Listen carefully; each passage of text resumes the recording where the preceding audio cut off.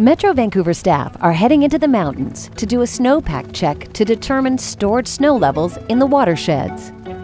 Today we're going to do some uh, snow surveys up uh, in Seymour and Coquitlam, the uh, snow survey Orchid and Disappointment Lake. These remote sites can only be accessed by helicopter.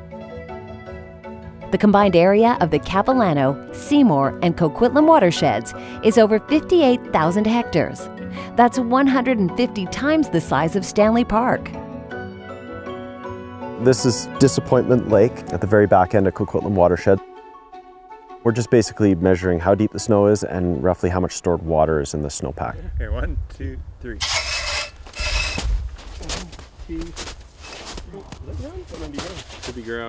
These measurements, combined with those from buried snow scales, which weigh the snow, will allow Metro Vancouver to predict theoretical snowpack water values.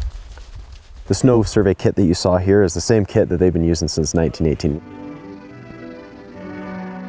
It's very basic and um, you know, we just rely on that historical data. But the new technology that we have with the snow depth sensors, um, you know, on our stations, that's really helped us because if we say couldn't fly in here today, we're able to take the instrumentation now and sort of check that with our historical data.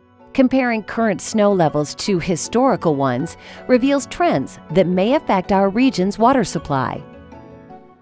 We had a month of May that was very, very warm and, and uh, led to, to quite a bit of snow loss. We've lost about a meter of snow uh, much quicker than what we did last year. Like, wow, a lot of snow has melted. Uh, quite a bit of melt. Having a healthy snowpack provides benefits beyond just drinking water for our reservoirs. If we're snow free higher up and at higher elevations earlier, in terms of um, forest fire, it's an increased risk of forest fire at all elevation bands that we may not encounter on other years. So. Yeah, historical is uh, 1050 and we're currently at 1017, so a little below for snow water equivalent. Um, and depth average is 178 and historical is 181. So, I mean, we're right on.